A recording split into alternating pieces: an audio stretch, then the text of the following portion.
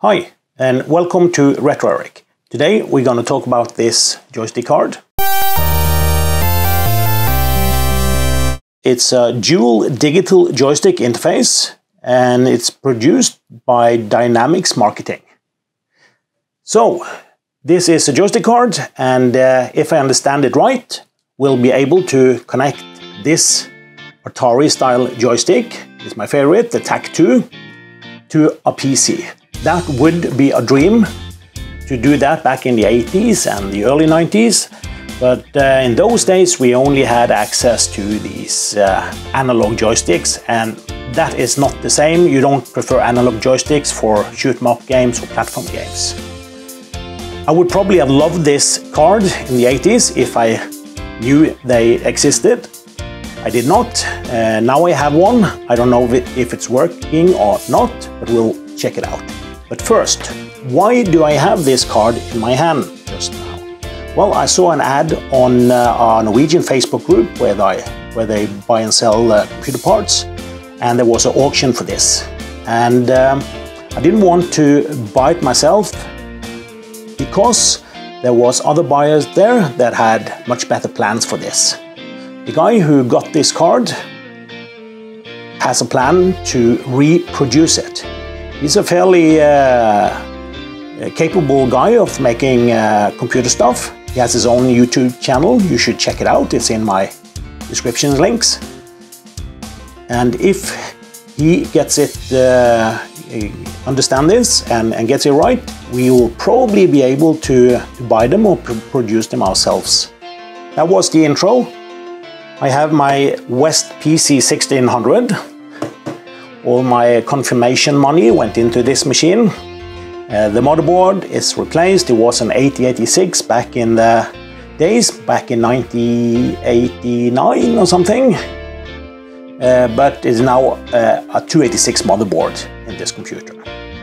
Okay, let's uh, install the card and see if we uh, get it to work. I love the way this uh, open and closes just like a suitcase. Nice. Let's put it up and hope there is no smoke coming from the card.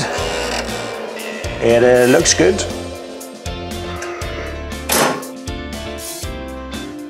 Wow, it, just works.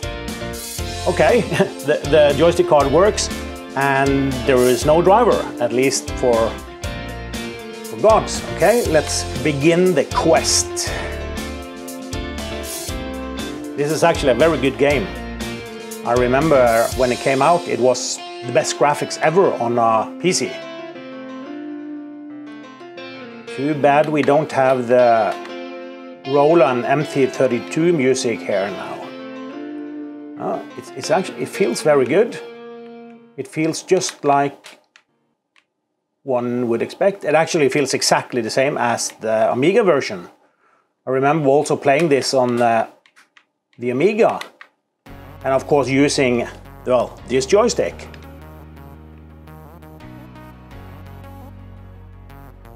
Wow. Uh, yeah, it, it, it just works as one, whoa, one would expect.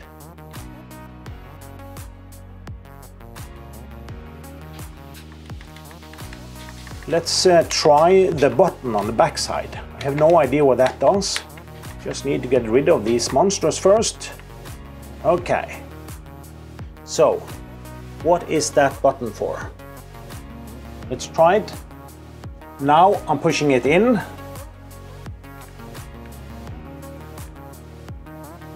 It did something. No.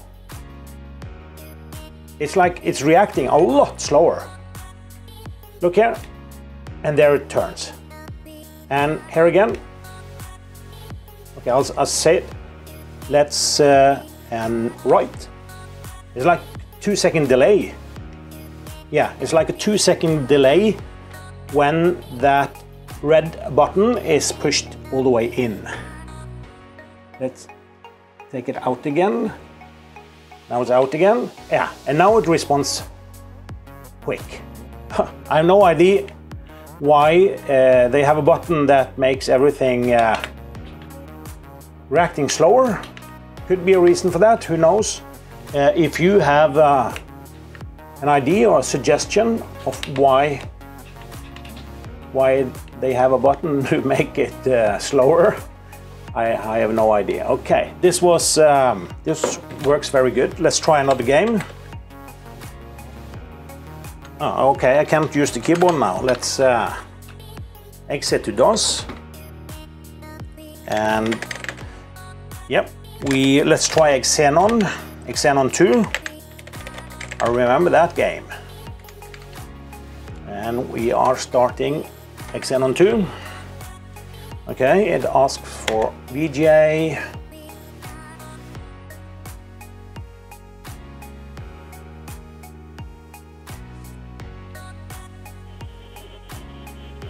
Okay, yeah, I remember. Xenon 2, only internal speakers, uh, no AdLib or Sound Blaster support. Uh, but the sound quality is not too bad for a PC speaker. Okay, let's start it. Oh, it works. It works. Oh, God. Uh, shoot them up games like this, it's so much more fun to use a joystick than using a keyboard. It just, it doesn't feel like, uh, like you are playing it on a computer or, no, or, or um, it feels like you're playing it on a computer if you use the keyboard, but if you use a joystick, it's more like, ah, you're playing it on console and uh, you're more relaxed. You can uh, sit back, you know, instead of being leaned forward to the keyboard. Yeah, it's almost e easier to relax. You have a long wire. If this wasn't set up on my uh, workbench, I could have uh, sit back in my favorite uh, chair and uh, yeah, just relaxed. Just used it as I would on my Commodore 64 or Amiga back in the days. Oh, okay, it's one thing about this joystick. You really, you really get tired in uh, your thumb from pressing the fire button all the time. Maybe I should check with another joystick with auto fire. Yep, let's do that. Okay, I'll be back.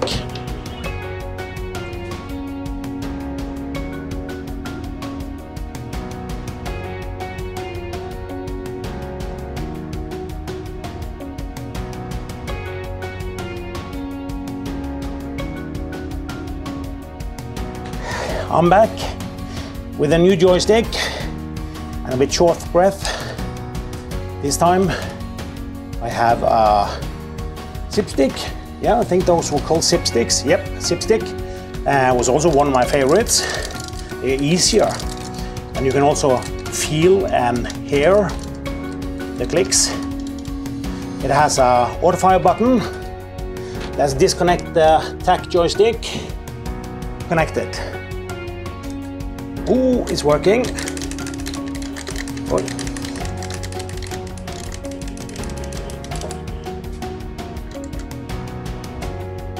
Ah, okay. Oh. Let's continue. Now it has auto fire. Look at that. Nice. Oh, this was easy. Much easier. It's working. The auto fire is working. And the response is, oh no. Okay, what do I do here? Oh, I can go back. Okay, I could have gone back. Let's try one more game. Uh, let's try Prehistorik. That was also a very good game, or it is a good game. This game has very good music if you're using an MT32. Of course, I only have the internal speaker here, so the sound is not very good.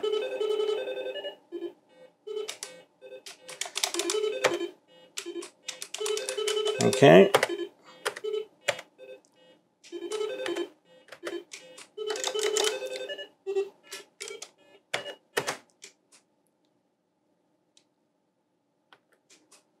Let's see if uh, this game works with the joystick.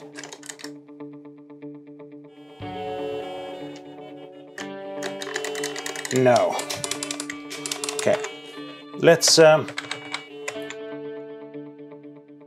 let's exit it. Maybe it has no. Yeah, there is a config file. Let's uh, delete uh, the config and see if it asks us for a new config file or config. Let's see. Yeah, English, VGA, uh, yeah, IBM, I guess. Joystick. Okay, what's happening now? Okay, it's starting. Let's uh, see if the joystick works now.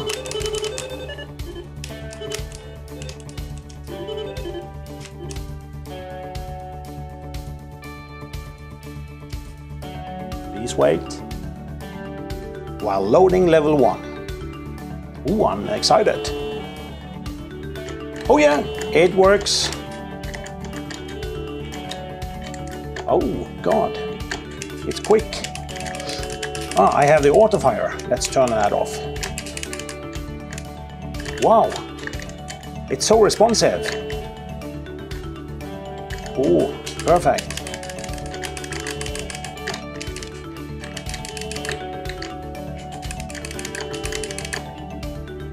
The only thing this game needs now is uh, smooth scrolling. It's still fun. And on a Roland MT32, it's still good music. Ah.